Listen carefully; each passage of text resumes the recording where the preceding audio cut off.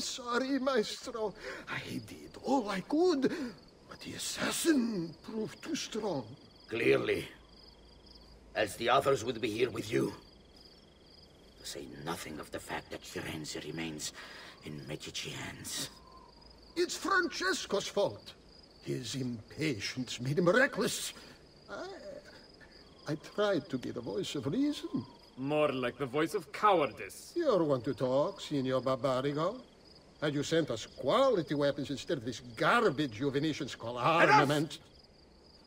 We put our faith in your family, and you repay us with inaction and incompetence? Then when asked to account for your failures, you make excuses and insult us?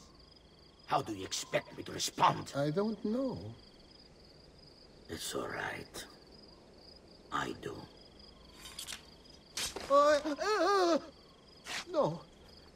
Please. No, don't. Please don't what?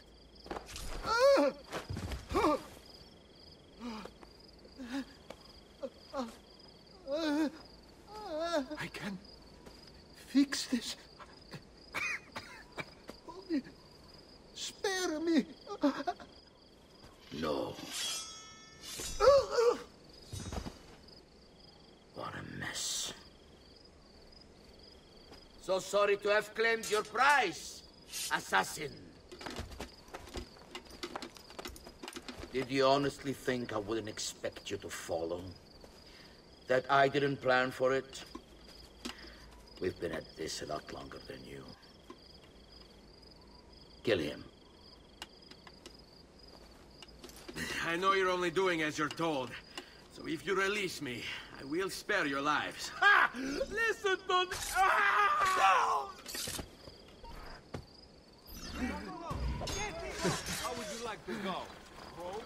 Axe? Go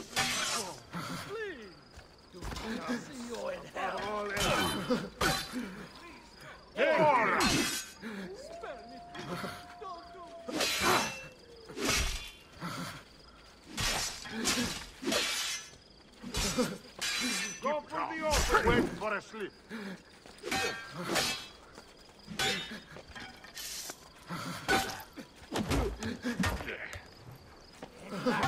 For your wound! Die! Strike. Opening. Let you go, damn you!